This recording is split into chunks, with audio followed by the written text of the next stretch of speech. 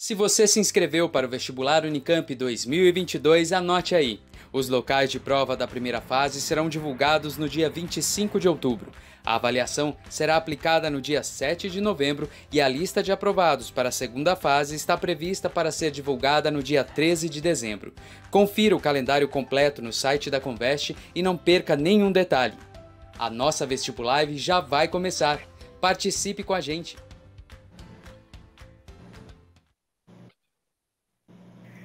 Boa tarde, gente! Bem-vindas, bem-vindos! Espero que esteja tudo bem aí com vocês.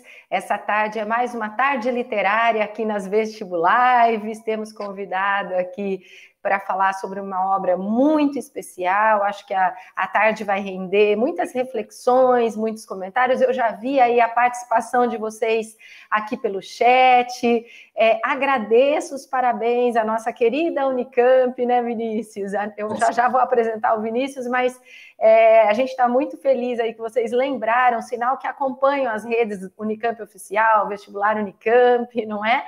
é? Hoje a nossa Universidade Estadual de Campinas completa 55 anos, é uma jovem universidade, mas com, é, com tradição, né? É, já com, com um bonito caminho trilhado, e é por isso que nós estamos aqui, inclusive, porque quem ajuda a trilhar esse caminho são vocês né? Vocês, futuros estudantes é, da universidade, e os colegas professores aí do outro lado, coordenadores de escola também que nos acompanham, todo mundo muito bem-vindo aqui já vi que tem até pergunta no chat, viu, professor Vinícius? Ah, então, deixa eu, deixa eu apresentar aqui o nosso convidado né, dessa tarde na Vestibular, que é o professor Vinícius Teixeira.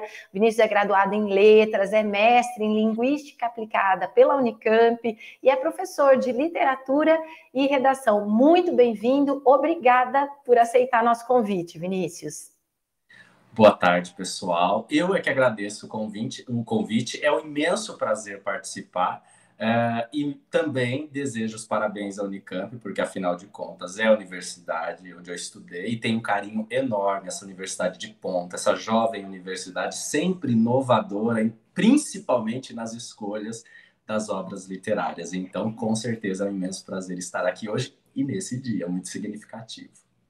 Bacana. Então, olha, só para lembrá-los, né, é, que vocês podem e devem interagir aí pelo chat. Vocês sabem que a gente faz esses ao vivos que depois ficam gravados. Então, avisem os colegas, as colegas que não conseguiram acompanhar hoje por algum motivo a live, é, que ela vai ficar aqui no nosso canal do YouTube. Se você não segue a gente, né, já, já não é inscrito no nosso canal ou não segue a gente nas redes, faça isso porque a gente deixa os lembretes. Ah, esqueci, mas a gente lembra vocês, né? É, mas o bacana de estar ao vivo aqui é que a gente pode interagir. Então, estamos com a Melanie, que é da Comissão de Vestibulares, mandando alguns links para vocês aí. Oi, Mel, estamos com o Ricardo nos nossos bastidores, ajudando a fazer essa transmissão. Então, vamos participar. Chama todo mundo, manda o link aqui da transmissão, porque a ideia é essa, é interagir com vocês. Então, vou ficar aqui é, de olho no chat para passar para o professor Vinícius as questões, os comentários que vocês tenham, né? É, então, antes de começar é, a, a, dar uma olhadinha aí nas perguntas, eu vou comentar, né, um pouquinho da obra de hoje, que é a Falência da Júlia Lopes de Almeida, mais uma obra de, de uma escritora Fico muito feliz quando é assim. E aí eu vou deixar para o professor Vinícius falar, mas esse foi o quarto romance, né? É, da Júlia, que ela lançou no início do século XX. E. E aí eu já queria começar perguntando como que foi recebida essa obra e ela caiu um pouco no esquecimento depois, Vinícius? Olha só, é, eu acho muito significativa a escolha do vestibular em colocar a falência da Júlia Lopes de Almeida, porque ela foi uma autora que circulou bastante no seu tempo, ela teve uma produção muito intensa. Mas, com o passar do tempo, ela acabou caindo no esquecimento, né? Infelizmente. E, inclusive, quando a Unicamp faz essa opção pela obra, é, nós, professores, e vou dizer por mim, por alguns colegas, nós recebemos com uma certa surpresa, porque de fato ela estava esquecida. Quando a gente consulta manuais de literatura, e dá para citar alguns, né? por exemplo, a literatura brasileira através dos textos do Massal Moisés, a gente não encontra o nome dela. Aliás, pouco encontramos nomes de autoras, né, de escritoras, mulheres, é, com, com essa com esse valor, né? Então, esse valor frequentemente não foi dado pela sociedade brasileira às escritoras, o que reflete uma estrutura bastante machista e excludente que nós temos até hoje, né? É, e aí, uma outra característica da Júlia que eu acho importantíssima, é, até mesmo para que a gente possa refletir sobre o papel e o valor das instituições, é com relação à Academia Brasileira de Letras. Né? Então, a Júlia esteve, ela participou é, das discussões, dos encaminhamentos, mas na hora de receber a cadeira, né, como uma imortal, ela acaba não recebendo. Né? Isso é muito triste, porque a academia decidiu, fez a opção pelo modelo francês, uh, e as mulheres não participavam disso. Aliás, é, é, muito importante dizer né, que a gente vai ter ali a primeira brasileira, de fato, a Raquel de Queiroz, em 77.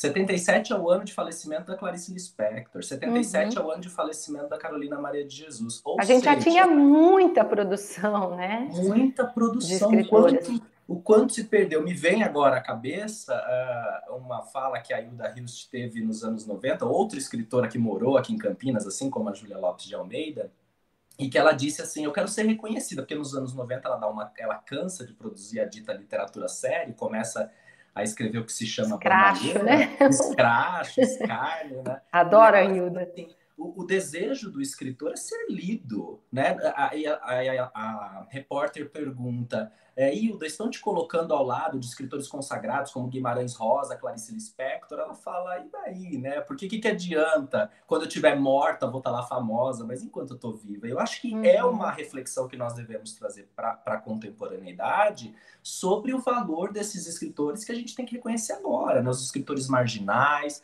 as escritoras mulheres, toda a diversidade de produção intelectual que tem acontecido aí e está acontecendo. Né? E o vestibular está não... aqui para isso, né? Está aqui para isso.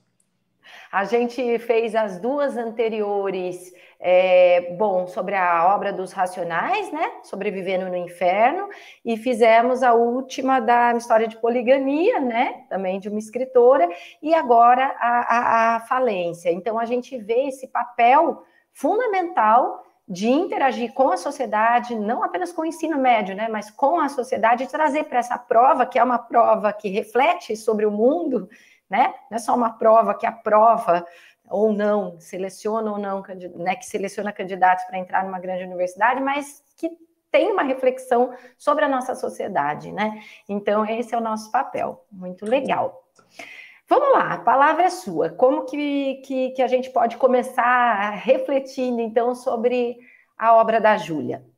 Olha, é, foi já apresento aqui a minha dificuldade de fazer a seleção de trechos, porque são muitos os trechos interessantes, eu curti muito e digo para os alunos que ainda não leram, né? Bom, eu já reli algumas vezes. Para quem não leu, faça a leitura, gente. A obra é muito boa, né? Em primeiro lugar, a gente tem aí um protagonismo feminino que é muito interessante. E, ao meu ver, a, a Júlia, né, enquanto escritora, dá algumas alfinetadas, porque nós temos personagens femininas que, teoricamente, não protagonizam a sociedade, né, estão ali colocadas num certo papel de inferioridade, mas que num determinado momento a gente vai perceber alguma outra coisa. E daí eu puxo a conexão com o título, né? O que, que significa a falência? Pessoal, eu acho de extrema relevância nós refletirmos sobre os títulos daquilo que lemos. Título é algo muito importante, não é só uma moldurazinha ou algo que chama atenção. Para além de chamar atenção, tem uma reflexão muito potente. É, pensar em a falência, eu pensaria nas falências. Uh, o título, ele é um spoiler da obra, com toda certeza, mas eu costumo dizer aos meus alunos que literatura não tem spoiler. Né? A gente sempre tem uma reflexão ali para tirar, alguma coisa para pensar, inclusive ganha-se muito na releitura. Mas a gente vai perceber uma falência de valores, a gente vai perceber uma falência financeira, a gente vai perceber uma falência de uma estrutura social que não dava certo né? E que não dá certo até hoje, porque as relações são permeadas por questões bastante contraditórias. Então, é, o primeiro ponto a chamar a atenção de vocês para a obra é o título. O que significa essa falência? O que essa falência tem para dizer para é, os leitores né, da época e o que pode dizer também para nós hoje. Tá? É, eu gostaria de começar pelo trecho 1, que a gente, eu vou contextualizando aos poucos as personagens, né, na medida okay. que elas vão aparecendo e tal, e, e eu trouxe os trechos para justamente uhum. poder ilustrar um pouco do que uh, a gente quer refletir. Então, o primeiro diz assim: uh, um médico consultado aconselhara-lhe uma viagem à terra ou casamento para regularização de hábitos. Ele achara cedo para a viagem, solidificaria primeiro a fortuna. A ideia do casamento parecia-lhe mais salvadora.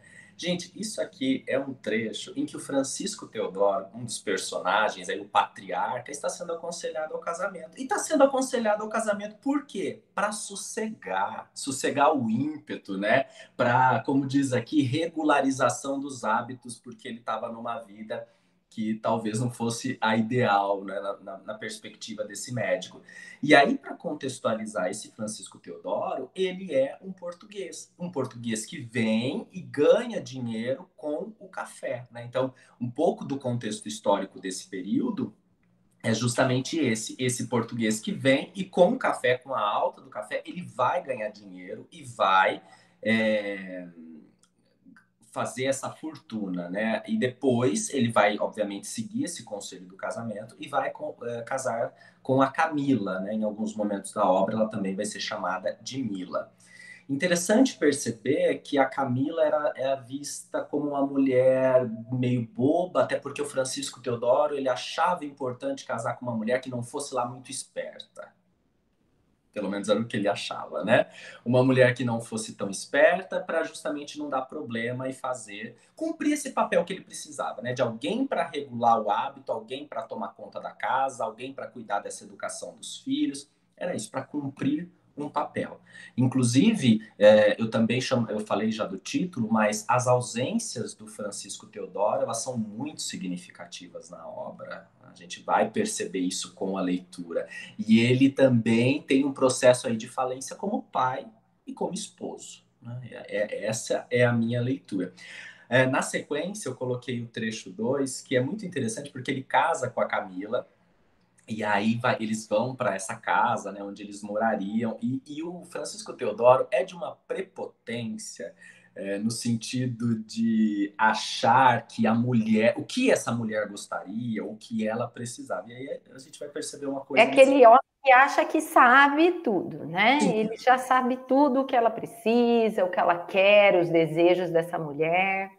Exatamente. Acha que sabe e acredita nisso, né? Uhum. Essa é a parte mais interessante. Ele acredita naquilo que ele fala. Então, uh, a gente vai perceber o seguinte: ele vai dizer, a sua maior comoção fora ao entrar em casa na Rua da Candelária. Supusera sempre que ela apalpasse com sofreguidão todo o seu ninho, na alegria de ser a dona a senhora de tantas coisas compradas para o agasalho do seu amor. Mas não, em vez de ir para o interior, Camila fora para a sacada. Ele acompanhou-a. Em frente, os telhados mais baixos sucediam-se irregulares, cortando-se em linhas angulosas de um vermelho sujo. As casas desiguais acumulavam-se, paredes ameaçando paredes, janelinhas de sótãos espiando as telhas estriadas de limo, de onde emergiam chaminés negras e curtas, baforando fumo. Camila murmurava, como quem fala só, se ao menos se visse o mar. Né? Então ele achava que ela seria a dona desse lar, essa mulher que assumiria esse papel que ele imaginou para ela, e não, né? ela estava ali já numa, numa sensação de insatisfação. O que me faz lembrar e essa reflexão eu também trarei ao longo da live, a questão dessa mulher que, ao casar, fica já insatisfeita. Lembra muito Madame Bovary. A gente tem outros exemplos literários em que a mulher casa e está insatisfeita, porque ou o marido não corresponde àquilo, ou porque o casamento não era aquele sonho encantado que talvez a literatura romântica lá atrás tivesse pintado. Né? Essa, essa idealização sobre o amor e o casamento. Tá? É, bom, e já no começo da obra, né, nesses primeiros capítulos, a gente uh, vai notar que a Camila não vai ficar muito nessa de sofrer tanto pelo uh, por esse casamento, né? É, quer dizer, ela vai continuar casada, até porque era uma característica da época, mas ali naquela casa, uma outra pessoa frequentava. A Camila era muito bonita, né? Ela é descrita na obra como uma mulher muito bonita, inclusive é por isso que o Francisco Teodoro escolhe, né? Porque tem uma, uma objetificação ali também da beleza dessa mulher que demonstraria o poder dele. É, mas uma outra pessoa, mais duas outras pessoas frequentavam, né? Que é o Dr. Gervásio, que é um médico, e também o Capitão Rino. A questão é, né? A Camila ela vai ter essa relação com o Gervásio, vai sustentar essa relação por um bom tempo, e o Gervásio tinha aquilo que o Francisco Teodoro não tinha, que era a cultura. A cultura, um refinamento, inclusive, né, o Francisco, o, o, o Dr. Gervásio, ele acaba virando ali uma espécie de orientador e curador da formação cultural é, dessa família. Na ausência do Francisco Teodoro, é o Gervásio que está ali. Então, aqui tem um trechinho mostrando, inclusive, essa audácia da Camila, e eu vou ler para vocês. O capitão Rino despediu-se e desceu também para a rua, ouvindo a voz de Noca recomeçar numa melopeia. Minha varinha de condão, pelo poder que Deus vos deu, fazei Nina, encostada à grade, via Mário afastar-se e lá em cima, no terraço, ao lado do marido adormecido, Camila curvou-se para o doutor Gervásio e beijou na boca. Eu acho maravilhoso, incrível esse texto, porque veja só, a Camila essa mulher que era vista como uma senhora para cumprir os papéis da mulher da época, ela está ali com a amante na casa, que frequentava, ou seja, havia toda uma questão de encenação, e ela beija o Dr. Gervásio. Ela assume isso, né? Fica muito marcado. E, e aí eu gostaria de comentar algumas outras características uhum. de personagens é, outros personagens que apareceram aqui, né? O, o Rino, por exemplo, ele tem uma irmã, né? Que é a Catarina e é uma mulher muito à frente do seu tempo, né? Bastante dona de si, tem uma independência muito diferente do que normalmente é, se percebia à época.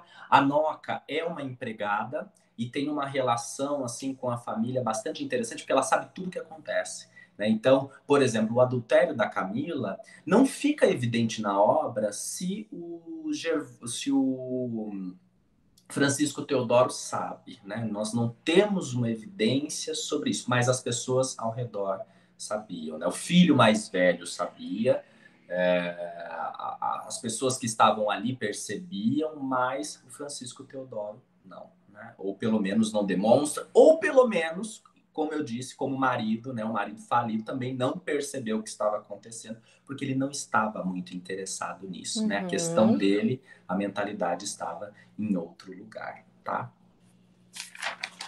Uh, e aí, ainda sobre as personagens, a gente tem essa figura da, da Nina que aparece aí, e ela é muito interessante porque ela é filha do Joca, o Joca é irmão da Camila. Só que o Joca aplicou uns golpes na praça, meteu o pé, e aí quem ficou nessa história, né? Quem cuidou dessa, cuidou também entre muitas aspas, porque apesar dela ser parente, ela nunca foi tratada como parente. Ela vai desempenhar uma função ali de babá, ela vai desempenhar uma função de empregada, mas não de parente. Serviçal, né? De serviçal, né? Isso é muito interessante. E ela é completamente apaixonada pelo filho mais velho do casal, né? E que é o Mário, que é uma figura também muito interessante. E aqui eu já começo a chamar a atenção de vocês uh, para a característica dessas personalidades dos homens que aparecem nessa história. Então, é uma sociedade patriarcal em que o homem tem um papel de centralidade? Sim. Mas quando a gente olha, eles têm essa aparência de força, mas me parece que eles não são tão fortes assim. Né? Então, o Mário, por exemplo, se nós tivéssemos que definir o Mário, o Mário é um playboy. O Mário é o boy lixo, o Mário é aquele com quem não se deve uh, se relacionar jamais, né? Ele não é um cara bacana. Inclusive. Temos muitos Mários aqui, né, na contemporaneidade. E como temos. Inclusive, o próprio pai, o Francisco Teodoro, acha o Mário um imprestável, né? Ele uhum. tem um pouco dessa descrição sobre o próprio filho. A Camila fica em alguns momentos preocupada, né, com esse com esse filho. É... No entanto, ela também tem um pouco de medo dele, porque ele sabe da história. Né? Então, esse clima ele começa a ficar bastante é, tenso. Né? Isso a gente começa a perceber ali no capítulo 3. Tem um momento em que o Mário ele não quer ficar na presença do Gervásio, ele quer meter o pé e ir para a Esbórnia, fazer alguma coisa. É, e não cumprimenta ninguém, mal educado, né, como só ele era. E o pai vai atrás, né? O Francisco Teodoro vai atrás. o que está acontecendo, né? Como é que você apronta uma dessa? Ainda mais eles que tinham toda essa preocupação com uma aparência social, então eles davam festas é, muito, é, no caráter de ostentação, eles queriam mostrar para a sociedade o lugar que eles estavam ocupando, né? E aí o filho não cumprimenta, então isso pega mal, e o pai vai atrás.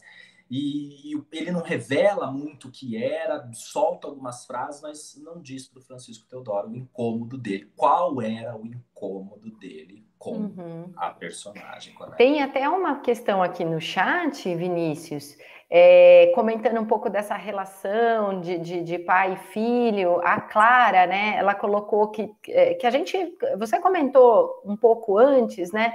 De, do casamento como para regularizar os hábitos, né? E a Clara fez um comentário de que isso acaba passando para os filhos, né? Como é, esse impacto nas gerações e até nesse comportamento dele, né? Que, que, que percebia tudo o que estava acontecendo, uma, de repente esses casamentos mais é, não exatamente arranjados, né? Mas tudo isso se reflete ali no, na, nas gerações, né?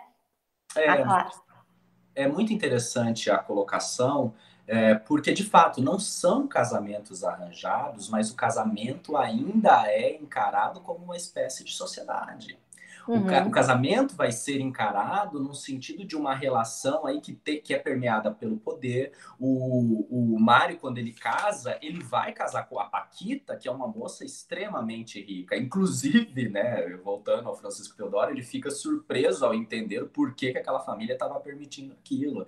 E aí o pai da moça vai dizer que Uh, enfim, né, aquilo ali poderia ajudar, ela ia colocá-lo num determinado lugar e coisas desse tipo. Então, e é interessante, já que eu falei da Paquita, a Paquita uhum. é uma personagem é, que tem uma característica próxima à Camila, né, no sentido de personalidade, porque ela tem algo ali de autoritário também, de alguém que aparentemente por ser mulher não faria isso, mas que estava dominando a cena. Inclusive, numa das cartas que aparecem é, no, na obra e que o Mário manda, ele estava na lua de mel, ele vai justificar tudo como escolha da Paquita.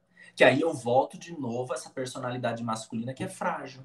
Então, nessa obra a gente percebe, teoricamente, eles têm o poder aí, mas tem uma fragilidade nessa masculinidade que é muito interessante, nos homens como um todo. Temos, posso fazer uma antes de você ir para o próximo claro. tópico? É, é, temos duas aqui, na verdade, né? A Larissa, ela pergunta do significado do, do espelho, né? Em falência, acaba tendo a mesma característica de uma história de poligamia. Eu acho que a própria Larissa tinha feito uma questão lá no, no comecinho em relação às mortes, né? Das personagens masculinas também. Obrigada aí pelas perguntas, viu, pessoal? É, então, a questão do espelho, né? Se, é, se acaba tendo, e aí a Lavínia Vinícius, na sequência, ela pergunta assim: é possível dizer que a Camila mudou os seus costumes de aparência por se considerar inferior ao Dr. Gervásio, né? É, ou seria, teria sido essa relação mesmo por amor ou paixão, enfim? Muitas colocações interessantes, né? Bom, é, sobre a, a, a, questão que foi colocada sobre a morte das personagens masculinas e sobre a poligamia, lá em Cat, como foi citado na pergunta, sim, você tem um aspecto interessante, que é uma morte metafórica desse masculino, né? Ao meu ver, na minha análise, é uma morte bastante metafórica, porque quem vai segurar essa onda, tanto lá em Cat quanto aqui na falência, são essas mulheres. É. Então, são essas mulheres que botam os filhos debaixo do braço depois de uma separação e que vão criar, né? Porque o cara dá no pé ou morre, né? Enfim, porque aqui a gente tem um contexto de suicídio, mas os caras dão uma fugida da situação de alguma maneira. Então, eu acho muito interessante essa comparação. Eu não tinha feito até então, mas com a pergunta eu acabei fazendo é, essa ligação.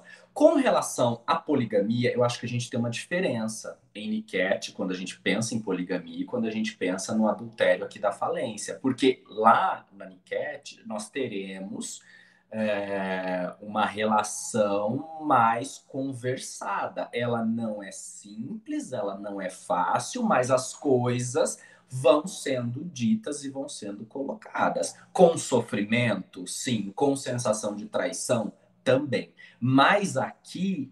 É e o contexto cultura lá, né? É. É, é, ele, ele é outro, né? Exatamente. Nós temos que tomar um pouco de cuidado com essas comparações, porque nós temos um contexto histórico e social, enfim, que é diferente. Mas uhum. não dá para confundir o adultério, como está aqui, com a questão da poligamia. Eu acho que uhum. são coisas diferentes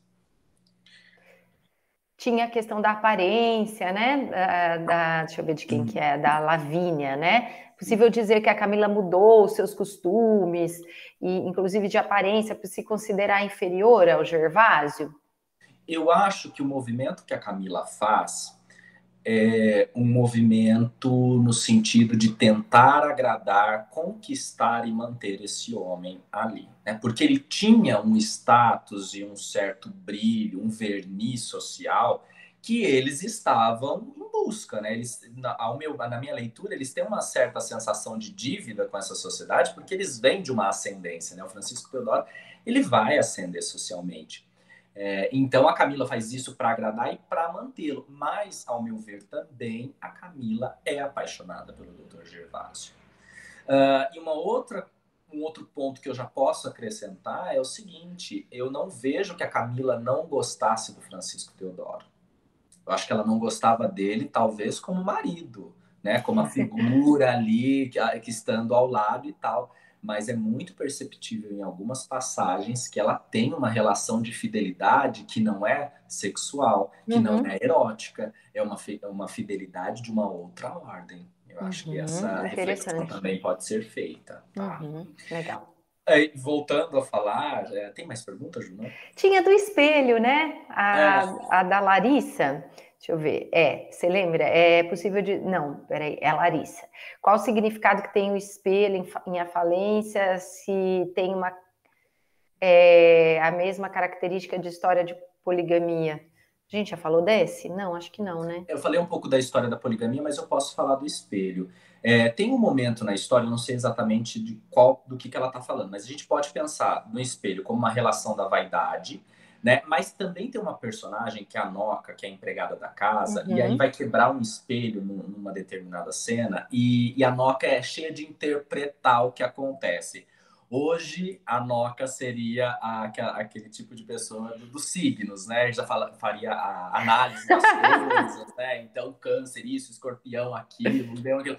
ela era um pouco dessa figura mística, que assim, aparentemente não levavam muito a sério, mas todo mundo parava para escutar. E tem uma cena que o espelho quebra e tem uma coisa de um mau presságio aí, né? uhum. né? Pensando numa simbologia de espelho, eu poderia pensar como a questão da vaidade, como alguma coisa que se quebraria e não voltaria, né? Talvez uhum. se ela especificar em que do que ela está falando do espelho. É que lá no, se eu me lembro, na outra obra, o espelho, a, a personagem, né, ela, ela ela falava consigo mesma ali, né? E, e, tinha toda uma reflexão interior, né? Então acho que é, é um pouco diferente, se eu estou me é. lembrando da, da história de, de, da Niquete, né?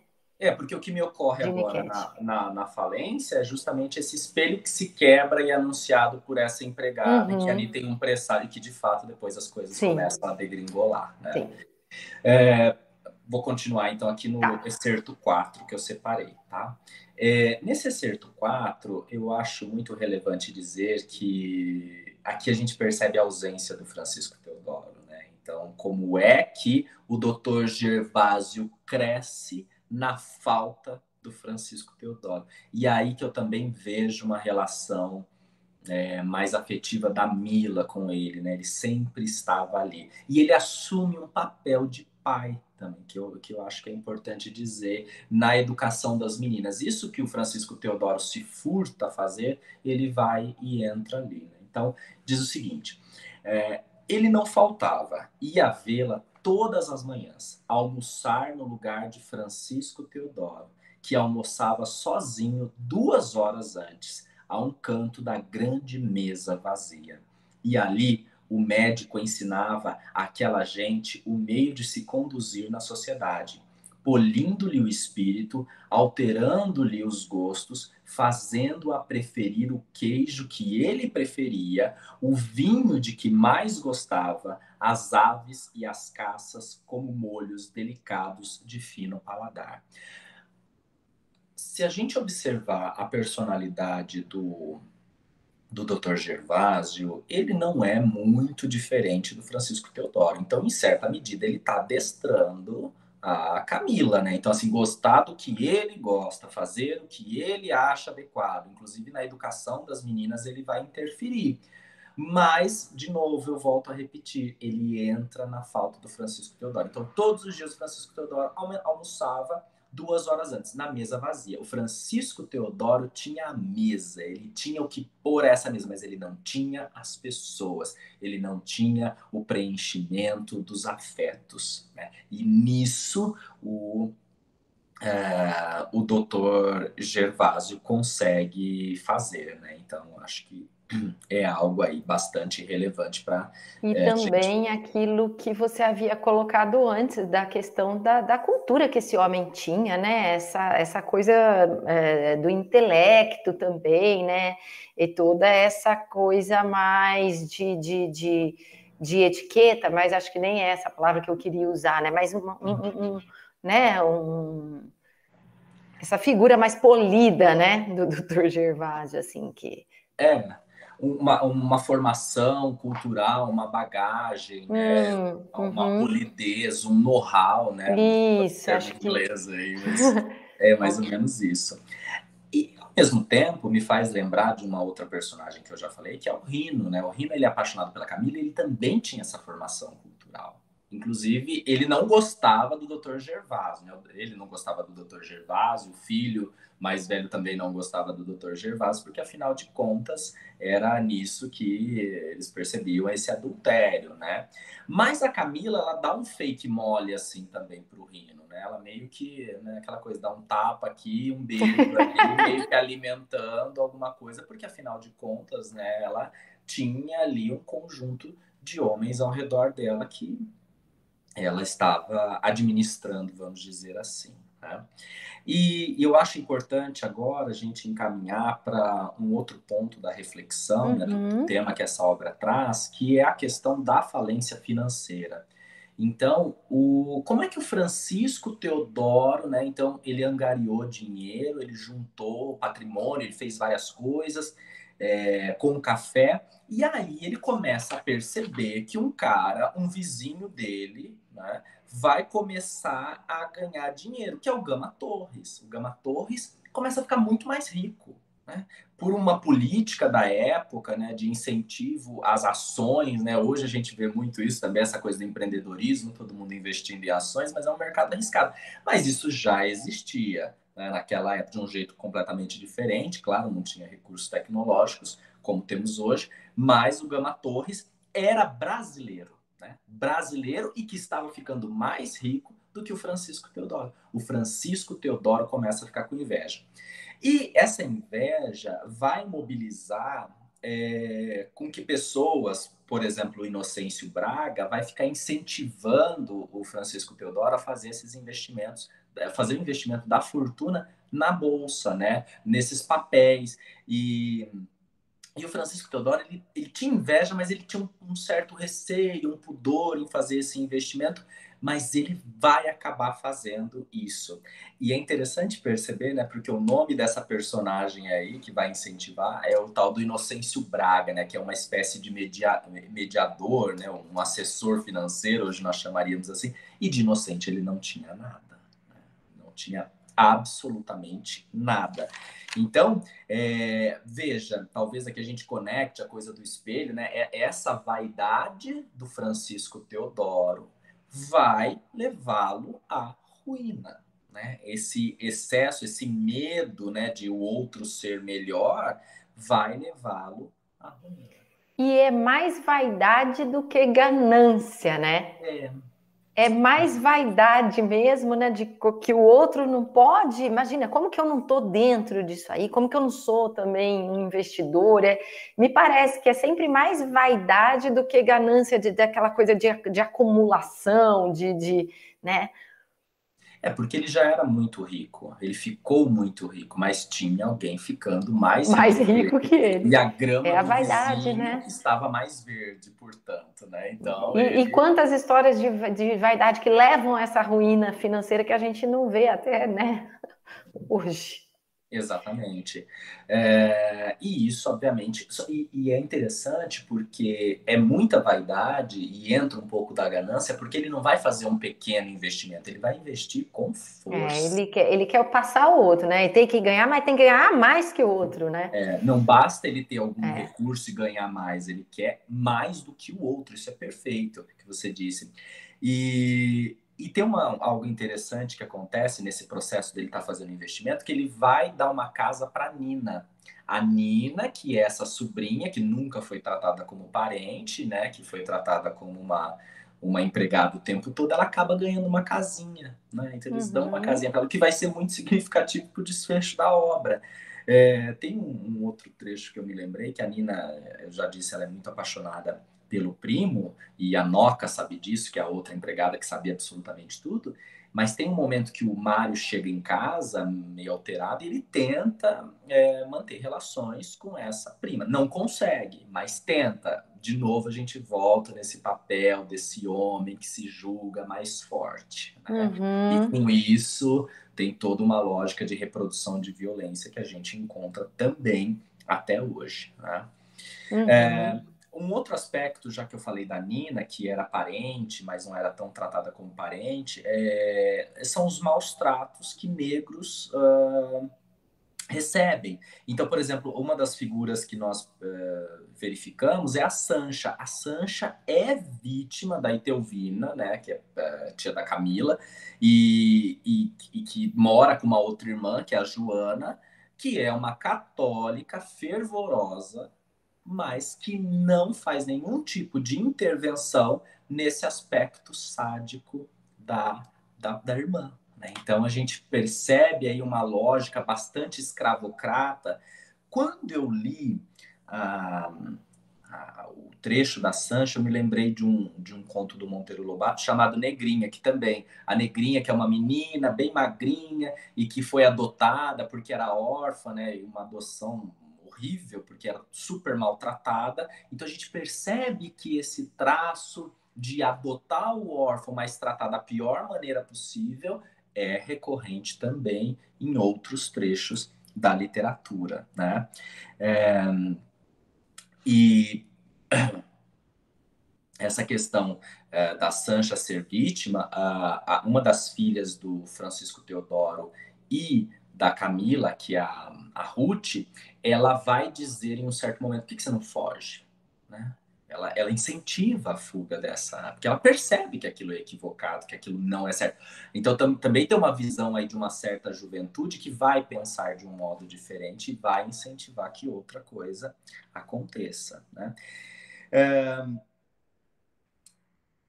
Depois, eu acho que a gente já pode começar a encaminhar né, para um final. Temos tempo, Ju? Sim, temos tempo. Vamos ah, falar ah, então... das tá. questões ou você quer falar mais? Temos mais algum trecho? Temos mais Tem. trecho, por isso que eu já estou aqui tentando. Então vamos lá, vamos. Vamos que depois a gente vai comentar um pouquinho, viu, ah. pessoal? Ah. Algumas questões aí é, de, de como é que isso é cobrado, né? na, é. na prova. Exatamente. Uh, bom, então eu já vou encaminhar para a questão da falência financeira do, do Francisco uhum. Teodoro, e depois, se faltou algum, algum ponto, o pessoal pode mandar no chat, eu explico. É, o Francisco Teodoro, então, vai fazer essa aposta e o café começa a entrar em baixa, né? Então começa a ter uma queda aí dos valores e dos preços e ele vai falir. Né? Interessante que o Francisco Teodoro entra nessa falência e, de novo, mais uma vez eu reforço, um homem sem coragem, porque ele não vai ter a coragem de contar para a família o que tinha acontecido. Ele vai pedir para o doutor Gervásio contar à esposa que ele tinha falido, eles não tinham mais nada. Né? Então, de novo, esse Gervásio entra na falta, né? na falta do Francisco Teodoro, que não cumpria muitos papéis dele ali é, ou que pelo menos ele deveria estar um pouco mais presente, tá? E depois disso, nós já podemos é, encaminhar para o texto, para o trecho 5, que é a cena do suicídio. Já vou adiantar, porque até porque se alguém não quiser presenciar esse, esse trecho, mas é a cena do suicídio. O suicídio é uma questão bastante sensível, e o suicídio é utilizado aqui como uma fuga, né? O Francisco Teodoro, ele foge né, da situação que ele estava, que ele tinha se colocado para não enfrentar as pessoas, não enfrentar os credores, ele vai tirar a própria vida. Então o trecho diz assim: A uma hora, Francisco Teodoro levantou-se muito pálido, persignou-se e rezou ali mesmo, entre o lampejar das molduras e o ar atrevido do cavaleiro de bronze. Fim da oração, caminhou resolutamente para sua secretária. A bulha dos meus passos firmes abafou um sussurro leve de saias que deslizavam pela escada abaixo. Francisco Teodoro tirou da gaveta o seu revólver, olhou-o um instante e encostava-o no ouvido quando a mulher apareceu na porta. Muda de terror, estendendo-lhe as mãos, ele cerrou logo os olhos à tentação da vida e apressou o tiro. E toda a casa acordou aos gritos de Camila, que com os braços no ar clamava por socorro. Eu acho essa cena arrepiante, extremamente forte, porque ela, ela reforça uh, a Camila gostava desse cara. Né? Ela tinha, ela não queria a morte dele, ela não queria o mal, e é uma cena, então assim, vai, ela já estava sabendo da falência, né? O Gervásio, o Dr. Gervásio já tinha contado. Ela vai ficar meio chateada, mas ela vai se aproximar do marido também nessa situação da falência, né?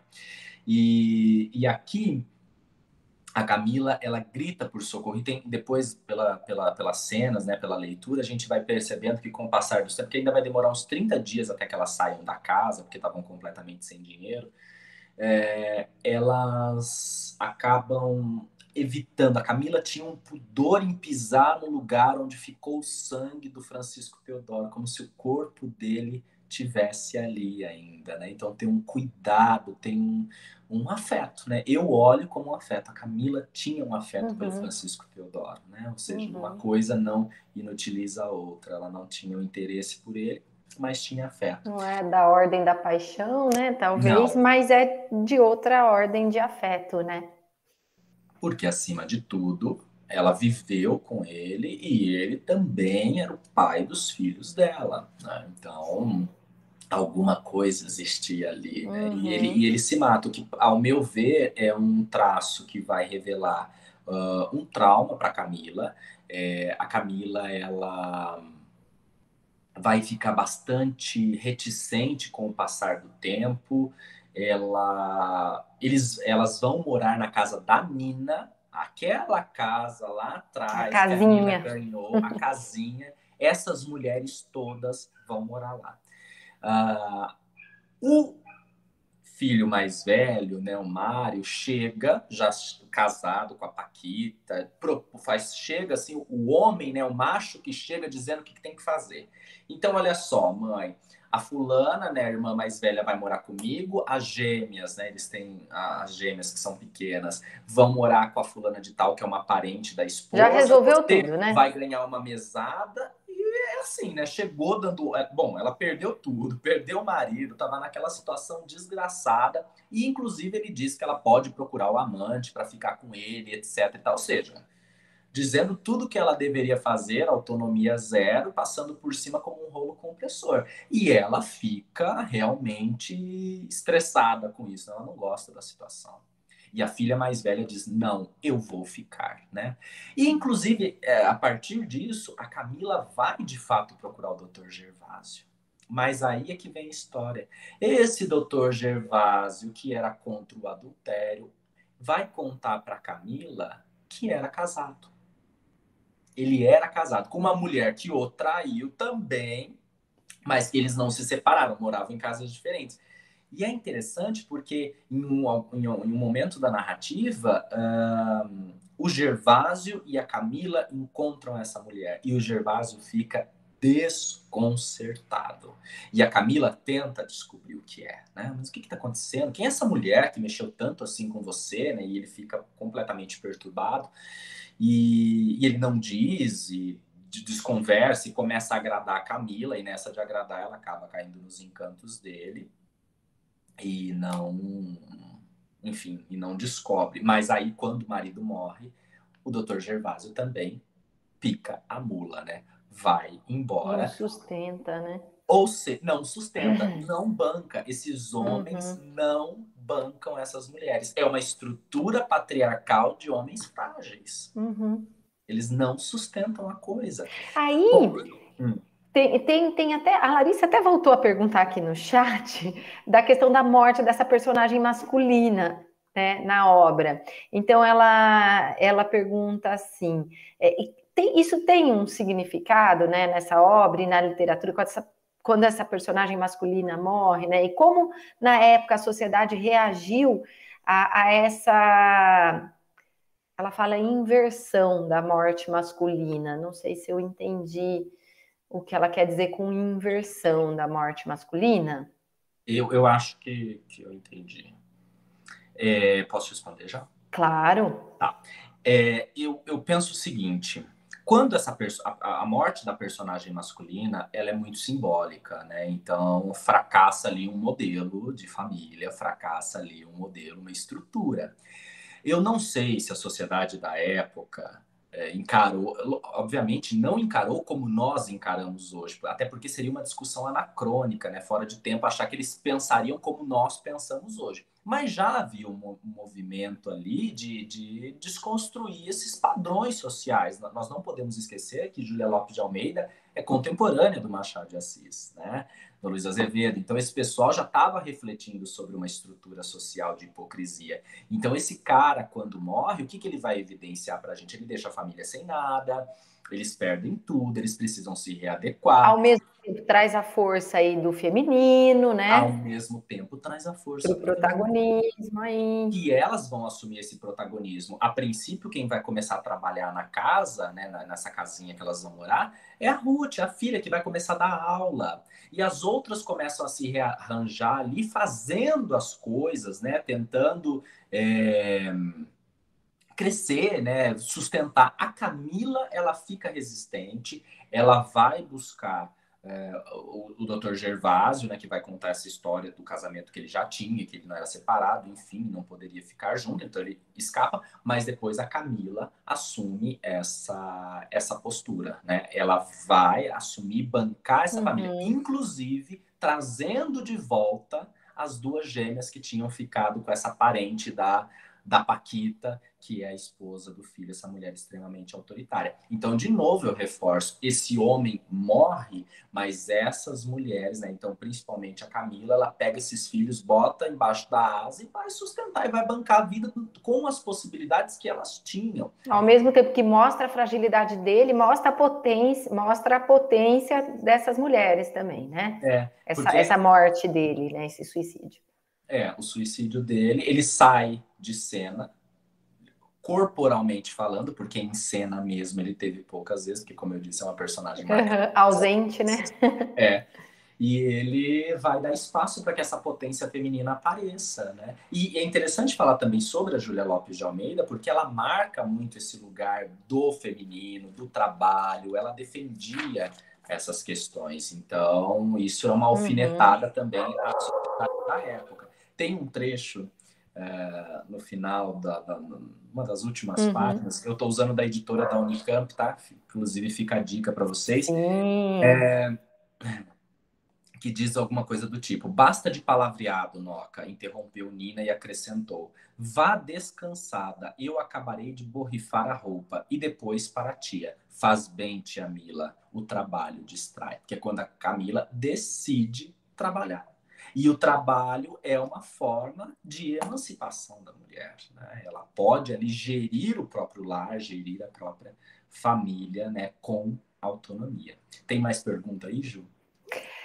É, eu, eu vou aproveitar só seu gancho antes aí para falar né, que essa obra é, foi lançada também pela editora da Unicamp e é uma obra comentada, né? Então é, a, a, gente tem aí é, os comentários né, da professora Regina Zilberman, capítulo a capítulo, então é uma opção bem bacana, né? Da nossa editora aqui, a editora da Unicamp, fica a dica aí para quem se interessar. Tem o site, né? É bem é, fácil de achar, viu, pessoal? Então foi bom você ter lembrado aí, Vinícius. E ainda uma dica de professor, é, o texto ele está em domínio público, gente, mas a Unicamp fez um trabalho, a editora da Unicamp fez um trabalho fantástico. Dos comentários, né? Tem os comentários capítulo a capítulo e tem um texto introdutório também da professora Regina Zilberman que é, tem em torno de 48 páginas, assim, pormenorizado, fantástico, um belo de um resumo da obra, né? Uma coisa que sustenta uma reflexão muito interessante. Então, uhum. fica mesmo essa dica para vocês. Legal. Okay? A gente tem, eu vou fazer uma pergunta antes da gente ir para o próximo, né? Aí tem mais trechos e depois temos as provas temos... hoje os trechos já foram, nós temos agora as, as provas, as, as questões, né? Então, antes da gente ir para as questões, olha, a Maria Tereza pergunta, né?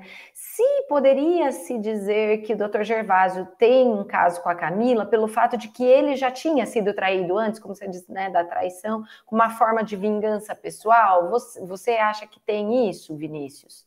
Olha, é, eu não Percebe isso? De assim, né? passagens é, que deixem isso muito evidente, até porque ele esconde, né? Deve ser uma, uma, uma fissura no ego dele, isso deve deixá-lo bem chateado. Uhum. Mas, em certa medida, uma forma de reparação a gente poderia interpretar dessa maneira, claro. Uhum. Ele buscou uma outra mulher, até porque estando com a Camila, que é casada, a chance dele ser traído é menor. E tem uma passagem do texto também que ele fica com muitos ciúmes do Capitão Rino.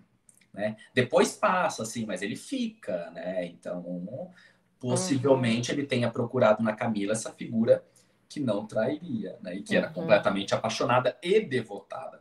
Inclusive, né, mantendo essa relação mais à distância, porque, enfim, eles não moravam juntos, apesar da, da, frequência constante dele ali, é uma forma também de manter essa chama viva. Né? Uhum. Quando ela entra em falência, ele vai se afastar, mas depois eles têm um reencontro. Né? Uhum. Okay. E aí é importante dizer que o final feliz, que a Camila chega a postar, inclusive, depois da morte do, do Francisco Teodoro, que o casamento seria esse final feliz. E não é, né? O final feliz é ela florescer, é ela tomar as rédeas da própria da vida dela. Uhum. E no bom. fim, no fundo, é a única saída para nossa vida também, né? É isso aí. Então vamos lá, pessoal. É, nós vamos ver um pouquinho como essa obra é, foi cobrada aí, né? Como a gente usa um termo, não gosto muito desse termo cobrado, mas como que ela apareceu, né, nas nossas provas. O Vinícius separou alguns exemplos. Separei. É, a primeira questão, eu, eu trouxe duas questões. É, uma da primeira fase de 2021, uma questão da fase 1, e uma questão da fase 2, da segunda fase de 2020, porque julguei que eram muito interessantes. Antes disso, gente, também aqui vem a experiência de professor para dizer uma coisa para vocês. A Unicamp tem um, um, a Convest tem um site maravilhoso com as provas comentadas.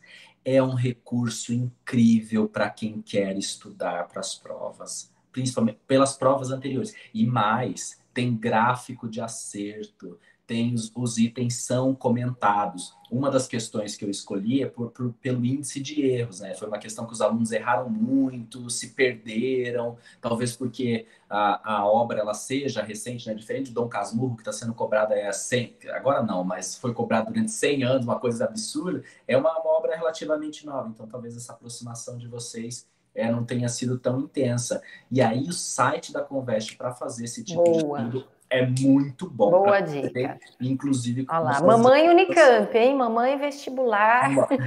Exatamente, a Unicamp transformando vidas. Bom, é, então a primeira questão que eu trouxe, que é a questão de número 5 aí do vestibular 2021, ela traz o item do espelho, que já foi apresentado aí no chat, né? Parece que eu estava intuindo. E diz é. assim: era Noca, que vinha toda alterada. Nossa Senhora, quebrou-se o espelho grande do salão. Quem foi que o quebrou? perguntou Nina, para dizer alguma coisa. Ninguém sabe. Veja só que desgraça estará para acontecer. Espelho quebrado, morte ou ruína. Morte, se fosse a minha, né? A Nina pensando. Bom, o diálogo apresenta a reação das personagens femininas ao incidente doméstico com um objeto de decoração no palacete de Botafogo. Assinale a alternativa que justifica a fala final de Nina. Pessoal, leiam os enunciados, os trechos da obra. A Unicamp utiliza muito uh, a contextualização. Os trechos eles são dados. O enunciado é o seu melhor amigo para responder as perguntas. Às vezes a gente olha para os itens e pensa assim: nossa, mas aqui parece certo. Talvez num outro contexto estivesse, mas o que o enunciado diz a você? O que o enunciado está pedindo? Então, essa leitura atenta é fundamental. Se a gente olha também para a estrutura, nós temos quatro itens. Por que quatro itens? Para você não ficar perdendo tempo. Então, você consegue aqui fazer uma leitura, uma leitura mais aprofundada, não, não é para te confundir, não é pegadinha. A gente precisa desmistificar um pouco essa ideia da pegadinha. A prova quer avaliar, quer perceber aqueles que são os alunos né, mais dedicados com leitura. Leitura da obra literária é também leitura de mundo, né? porque leitura literária é leitura de mundo. Então, isso faz uma diferença incrível é, na formação de, de cidadãos. Bom, é, aí vem os itens né, que são apresentados. A destruição do espelho a leva a desejar a morte, pois sugere o alívio para a frustração amorosa. B. A quebra do espelho lhe provoca o temor da morte, uma vez que antecipa a ruína financeira. C. A destruição do espelho traz a certeza da morte, pois sinaliza o suicídio do ser amado. Não, né? A Nina não é apaixonada pelo Francisco Teodoro, ela é apaixonada pelo filho.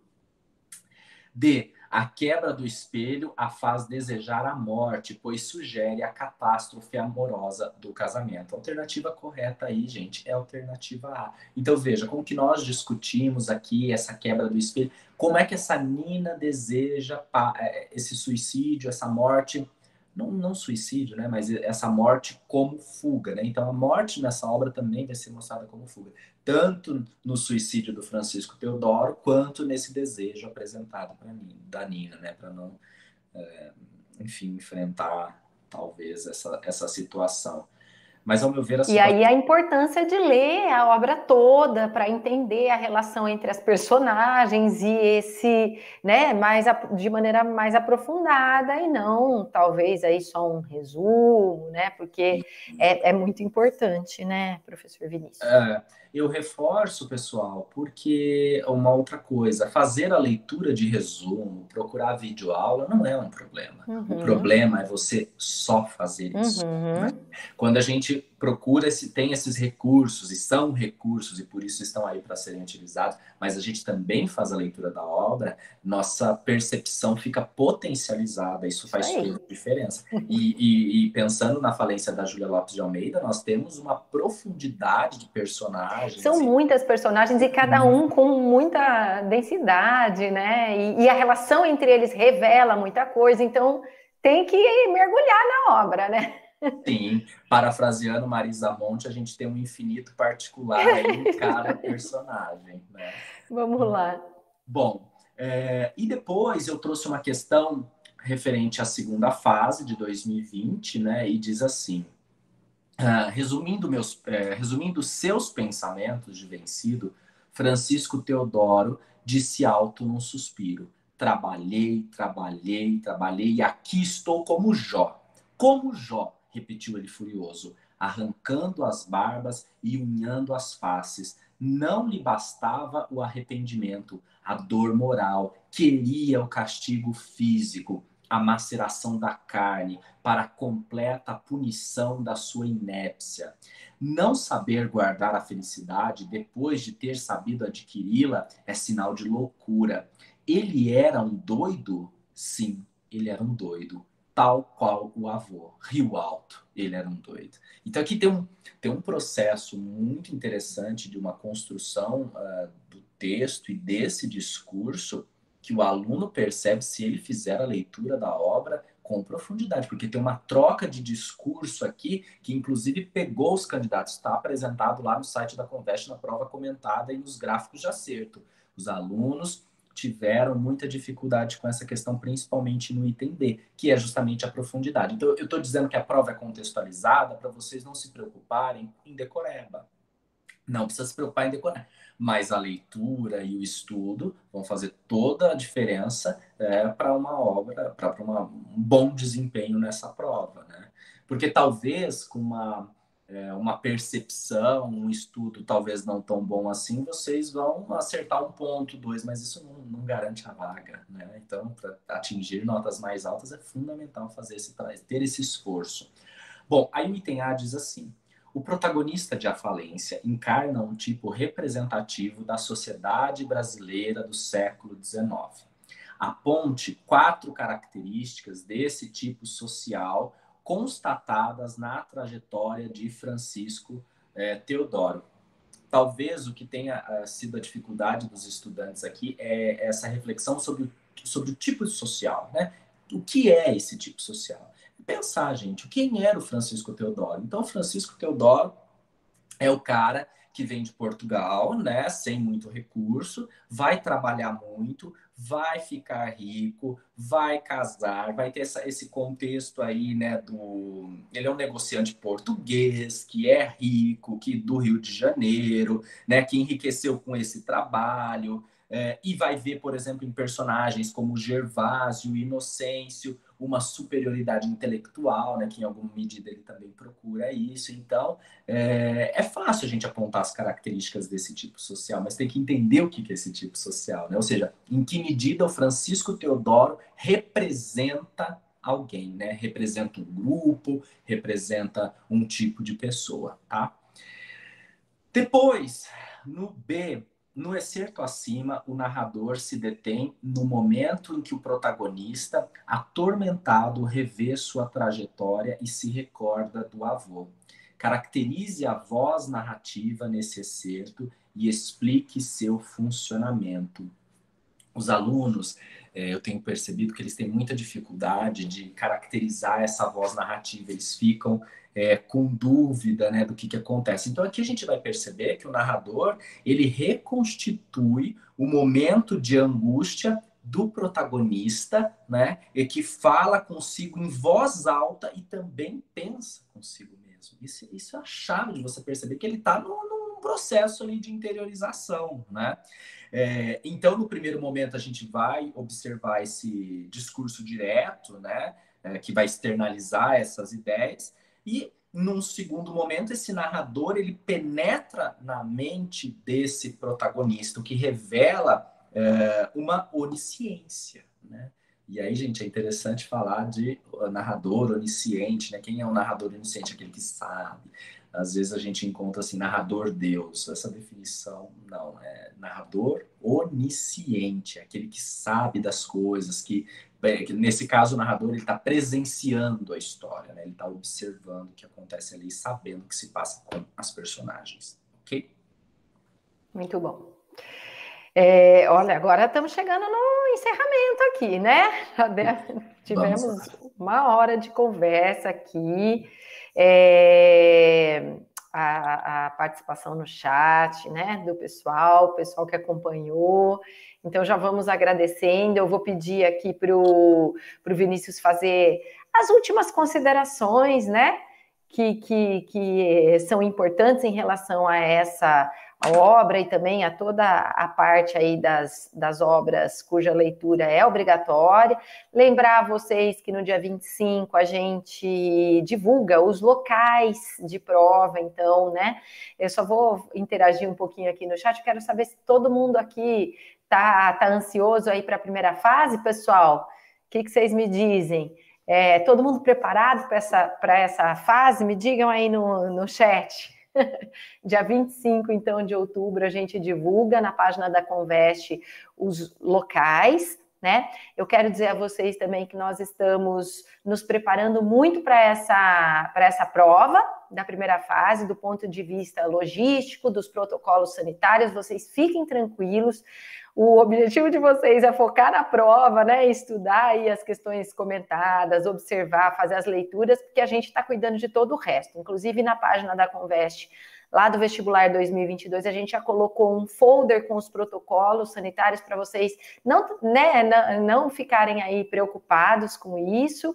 É, então lá tem todas as orientações, o que, que precisa levar, como que tem que, né, como é que vai ser a entrada, o distanciamento. Então já está lá esse materialzinho visual para vocês se orientarem e ficarem tranquilos. É, então, ó, ansiedade demais, todo mundo preparado. Obrigada aí pelo retorno no chat. Bacana, pessoal. É, e eu vou deixar as palavras finais aqui com o professor Vinícius. Então, tá bom. Pessoal, é, eu tenho uma, uma indicação para vocês. Para quem não fez a leitura ainda das obras do vestibular, aproveite para fazer. A Unicamp seleciona sempre com cuidado, que, é, que é admirável. Né? Eu, talvez seja suspeito para falar porque sou filho né, da Unicamp, né? então tenho uma admiração.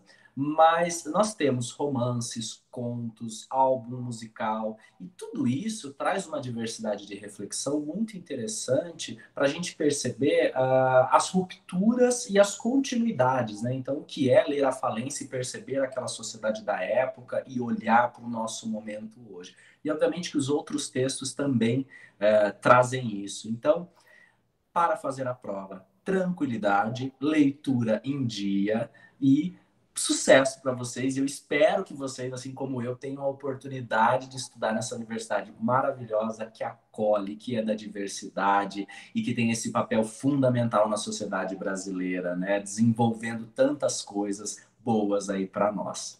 Muito bom. Vinícius, muito obrigada. Muito obrigada pela, pelas é, suas considerações, reflexões acerca da obra da, da Júlia, né? A falência. Obrigada ao pessoal aí do chat. Já estão perguntando quando é a próxima live. Então, na, na, na, terça que vem, não, que é o feriado, nós não temos live, mas na seguinte temos mais uma vestibular literária. Essas todas estão gravadas. O pessoal te elogiando muito, dando os parabéns aí pela aula, viu? Obrigado. Professor Vinícius. É, é isso, pessoal. Então, continuem nos acompanhando. Obrigada aí, tá? Todo mundo que participou, aos bastidores e ao professor Vinícius. E até a próxima, pessoal. Tchau, Valeu. tchau, galera. Até mais. Até mais.